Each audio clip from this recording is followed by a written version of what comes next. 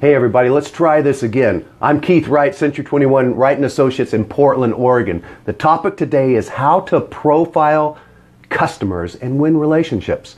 Many people have asked me recently in the last year and last months, how do I do what I do with everything that's going on? When they ask, when they're asking, how did I get those clients into those groups? How did I get into those groups? And how ultimately it has created a wonderful life when it seemed like many of the things that were going on in the recent days were the most difficult because of the personal medical issues that we were going through. I want to give good advice around this, so I started writing.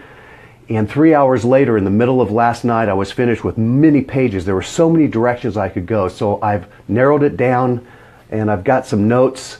And uh, I really struggled with what to say today. So I'm going to share a couple of things that really made a difference that others have told me made a difference and what I think makes a difference.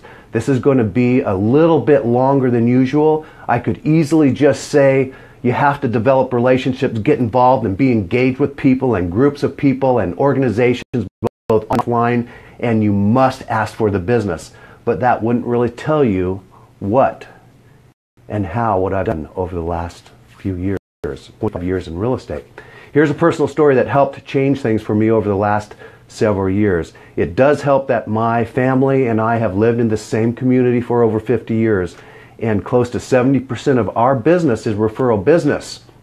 As the president of our real estate company, president of the Century 21, president of our property management company, and investment company also, we survived the last recession when over 50% of all the companies disappeared overnight. It was brutal and we almost didn't make it. What helped us then and now is we learned how to work by referral. See buffiniandcompany.com for more information on that. I've talked about how to build referral business many times on our video blog www.mrc21 or Mr. C21 so you can find more there. What I will tell you is that you have to become involved in your community and organizations both offline and online. I was asked to talk about this topic, and this may sound a bit baggy, but you need to know some of my history so that I can share with you what helped me and hopefully will help you. I've served on the President's Committee for the CEO of Century 21 for the last four years and worked on some very special beta projects that allowed my wife, Carol, and I to travel four times a year. And I learned from some very, very successful business people. I'm involved with my church, and my faith is very important to me. Over 75% of us believe in a higher power, so it's okay to talk about faith and lean on it. I'm involved in helping the Beaverton Chamber of Commerce. I serve on the board of directors for the chamber, and it has been a great experience, and it continues to build new relationships and business. The Chamber has an incredible two year program. It's called Leadership, and it's all about learning about the city and the needs of the community, including the good and the not so good, such as homeless, children issues, and problems all cities and communities have, and what programs, resources, and education are available to help, and how you and I can help. So it's not all about business and making money. Absolutely not. I was taught when you volunteer your time, something shifts inside and your heart grows. We believe that you get by giving. I had the honor recently of helping with social media on a political campaign, and it was another amazing experience. I learned so much and met some fantastic individuals, and I'm looking forward to that future. I and my company participate in over 10 local and national charity organizations annually. When I say participate, I don't mean writing a check, I mean volunteering. And this experience has been one of the most rewarding and eye opening experiences of my life.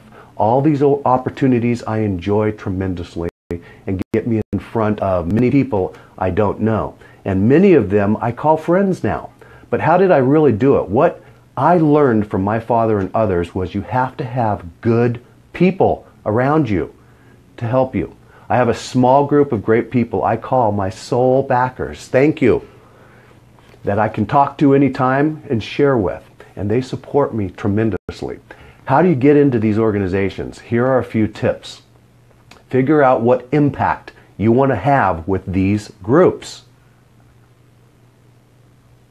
Identify the top people of these groups and start being seen by them and engage them. Attend meetings and personally volunteer to help with projects in these organizations you are involved with. Find the members and engage them on social media sites. It's so easy. Find them, comment on what's important to them, and get involved on and offline with them. When you find them on social media sites, use video so you can be seen quicker and easily. Now, I know many of you just tuned out because I said you need to use video. Listen, if you want to be seen and get involved with groups of people, you are going to need to be seen. So, whether you use video or not, eventually people are going to really see you as you are. With video, they see you sooner. So, why are you worried? get started. Certainly, because I've done over 200 videos over the years, it has made a big impact in many areas, including business.